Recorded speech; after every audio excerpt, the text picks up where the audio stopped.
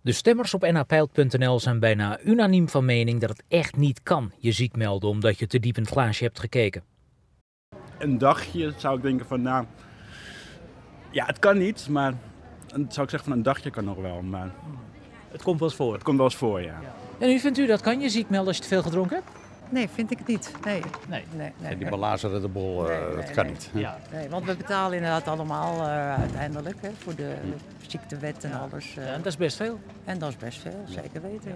Wat ziek melden vanwege een kater precies kost, is berekend door het RIVM. Eh, wij schatten dat het ons jaarlijks in Nederland eh, 2 miljard kost. Als je het omrekent eh, naar eh, alle Nederlandse werknemers, dan gaat het gemiddeld om zo'n 10 uur per jaar. Dus eh, ruim een dag verzuimen we met z'n allen als gevolg van eh, alcohol. Het is eigenlijk eh, bij nachtman bij dagman. Als je een feestje hebt gehad en de volgende dag moet werken, moet je gewoon weer eh, gewoon, eh, aan de gang gaan. Daar is Kenny het in de online reacties niet mee eens. S'avonds een vent, 's ochtends een vent, dat was vroeger. Nu is het, s'avonds een vent, 's ochtends absent.